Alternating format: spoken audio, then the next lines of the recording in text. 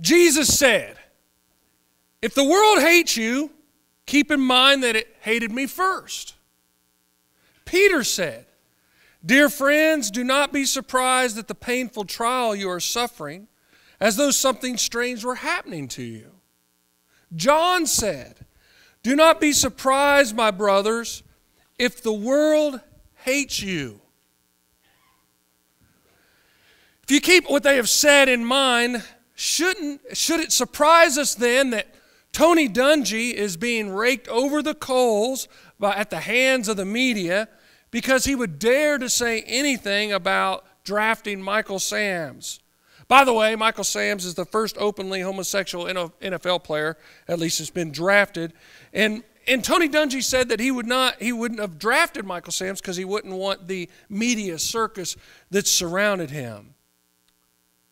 Does it surprise us then that the Muslims in Iraq have given Christians three different options if they wish to stay at their home? They can either convert to Islam, they can pay up, or they can die. Does it surprise us then that the American evangelist Tony Milano, or Miano, I should say, was arrested in London for simply proclaiming that homosexuality was a form of immorality? Does it surprise us then that Brooks Hamby, a high school senior in California, was told to censor out of his graduation speech any reference to God or religion? Does it surprise us that Walter uh, Tutka, a teacher in New Jersey, was fired for giving a, a student a Bible? Are we surprised that a Florida teacher called the parents of a 12 year old boy and informed them that he could no longer read his Bible during free time at school? Are we surprised that a Christian baker is facing government investigation after he refused to make a cake that portrayed two Sesame Street characters as gay lovers? We live in a world and we live in a country that is becoming increasingly hateful toward any Christian. Any Christian who actually lives out what they believe, I should say.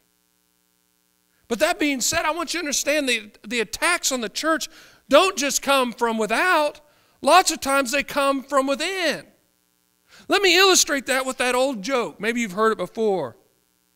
How many Christians does it take to change a light bulb?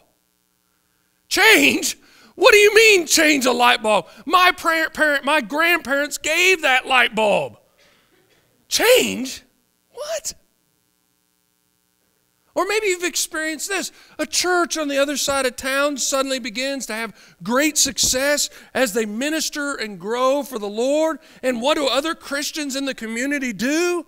Do they celebrate their uh, success and rejoice? No. So often they say, well, they must have sold out to have that kind of success.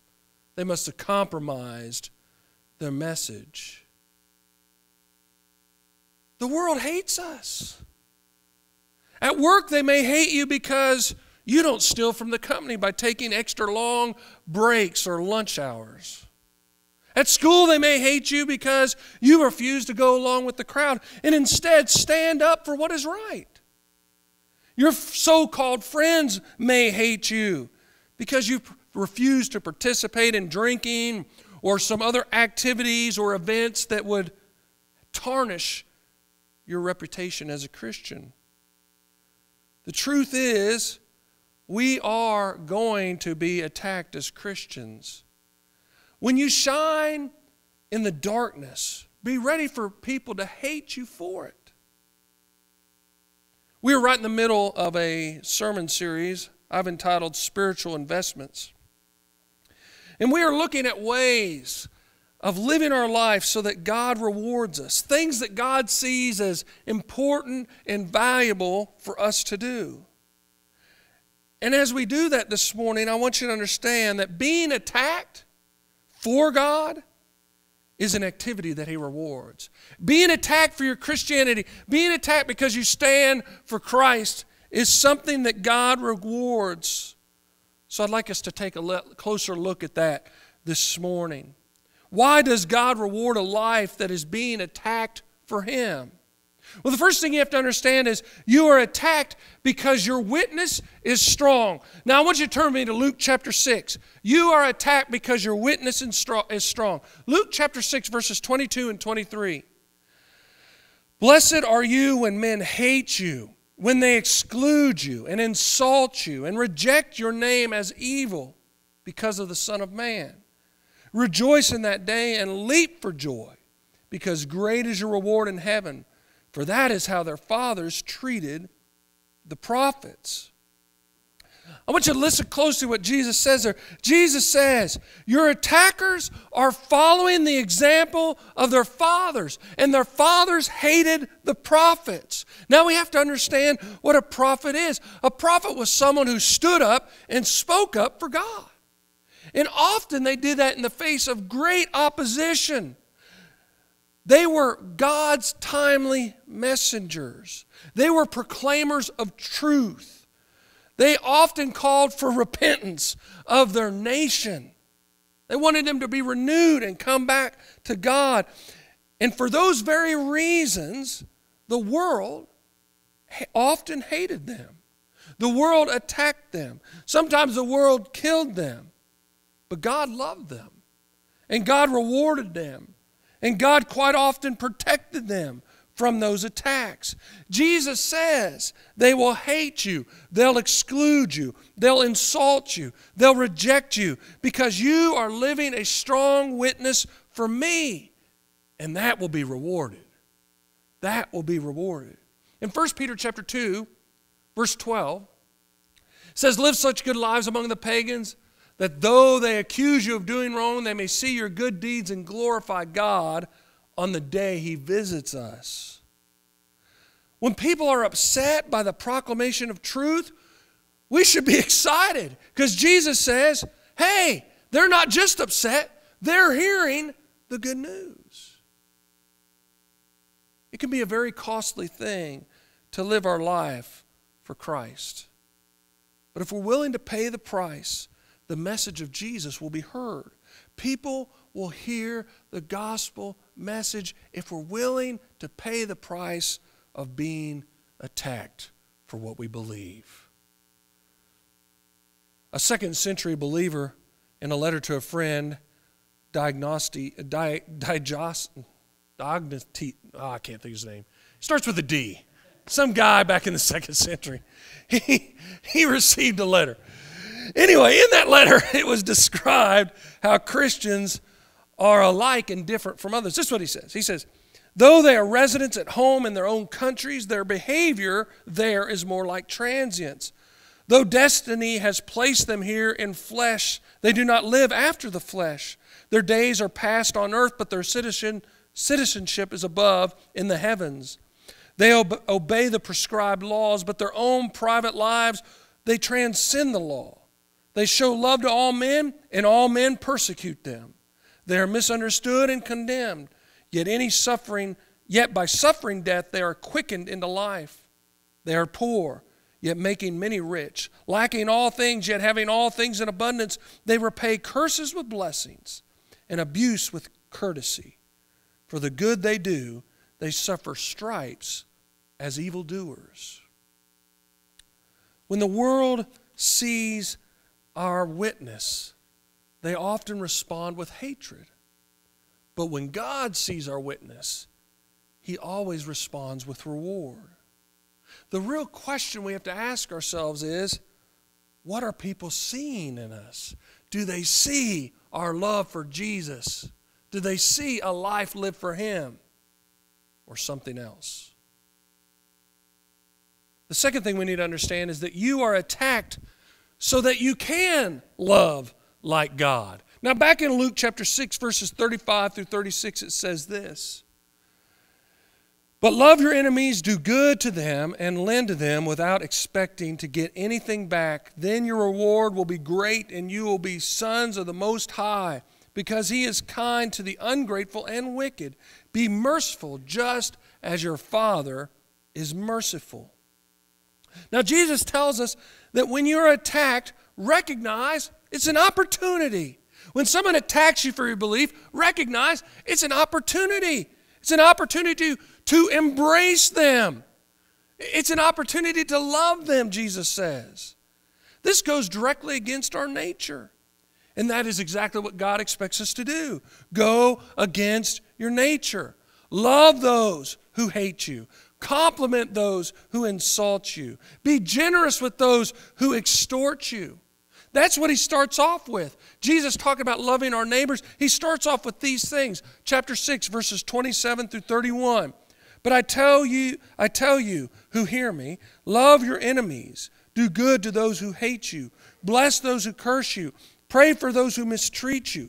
If someone strikes you on one cheek, turn to him the other.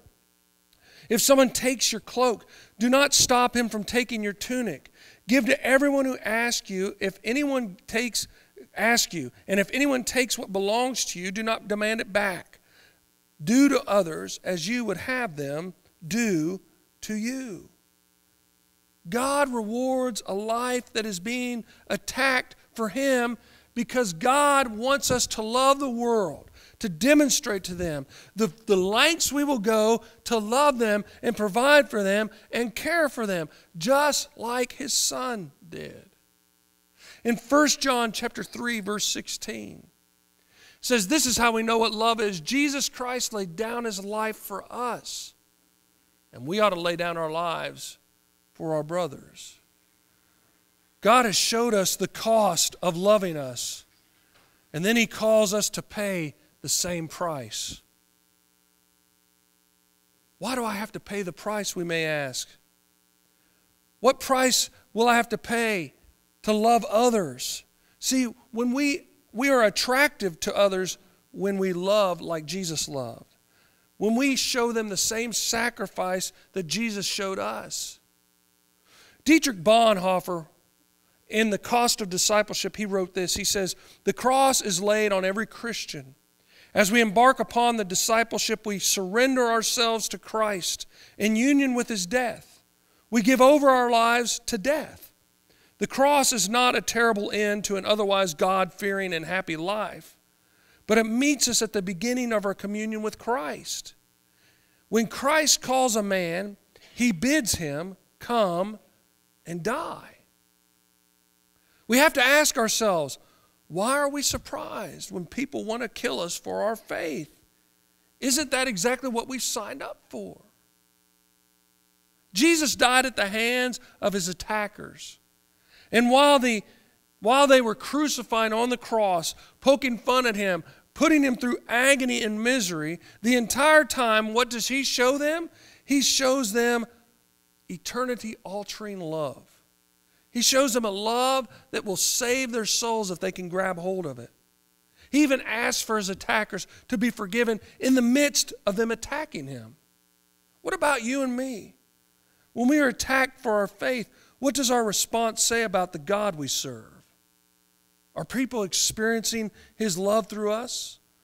Or are they only receiving our judgment and our vengeance and our retaliation? We are to love our enemies in the hope that they won't stay that way. We are to love our enemies in the hope that they will respond to the love of Christ. The world is going to hate you, but this is a good thing. That means that they're seeing your witness, and that hopefully means that they're feeling God's love through you. In August, August, or excuse me, in April, I should say, April 28, 1999, eight days after the Columbine shootings, shock rock singer Marilyn Manson was scheduled to perform a concert in Iowa City, Iowa. And since Manson's music was a prominent force in the lives of the Columbine killers, there was a lot of emotion that surrounded this concert. Mark Forstrom, a local youth minister in the area, wrote about what happened. And this is what he wrote. He wrote, he wrote this. He said, The police, the media, and the community began to prepare for angry protests and ugly brawling between Christians and Marilyn Manson supporters. But suddenly, something totally unexpected happened. Emerging through the vehicle of email, another local movement suddenly sprang to life. that the only way to truly change our moral climate is to soften hard hearts. The hearts of Manson fans have been hardened by their perception that Christians are mean spirited, hateful, and judgmental. Thus, the idea was birthed to unravel that stereotype by encouraging Christians to show the pure love of Christ to these fans in tangible ways. When the concert day finally arrived, the tension filled the community, and the media geared up for an ugly battle between Manson fans and the Christian opposition. But instead, they observed an amazing testament to the power of the love of Christ. Scores of Christians from churches all over Linn County and as far away as Des Moines converged on the sidewalks outside the Five Seasons Center to do two positive things pray and show unmistakable love. It was a sight to behold, he said. Groups conducted prayer walks around the arena.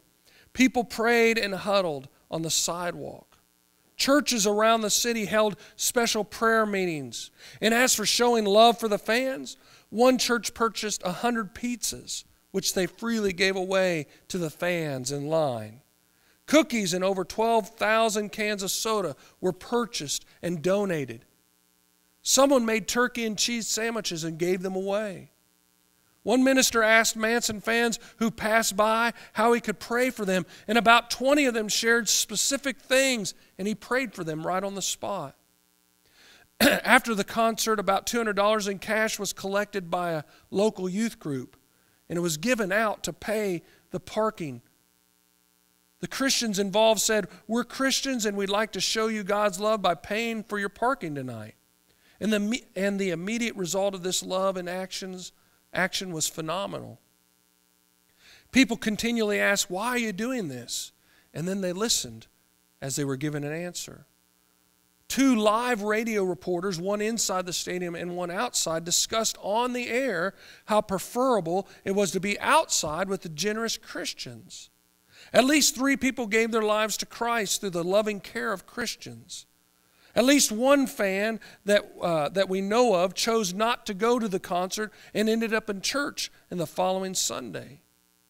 After getting the pizza, one kid commented, Wow, Marilyn Manson never gave me anything. A Marilyn Manson's website admitted, so maybe those Christians aren't half bad. And as for the concert itself, we saw God work a miracle there as well. After only an hour, Manson ab- abruptly ended the concert early. He suddenly flew into a rage. He threw his microphone to the ground. He stormed off the stage and he never returned. So, to summarize the totality of the Marilyn Manson's visit to Cedar Rapids, we might say this. Many fans came to the concert convinced that Christians were irritating and that Manson was impressive. And many left the concert feeling that Marilyn Manson was irritating and that Christians were impressive. What would the concert fans say about you and me? If we were in charge of that event, what would they say? Would God have gotten glory if we were in charge? Or would hate have billowed from our lives? When the world is comes at us with hatred and attack, we should respond with love as we stand for the truth so that we can win them to the Lord. In Romans 12, verse 21, it says, Do not be overcome by evil, but overcome evil with good.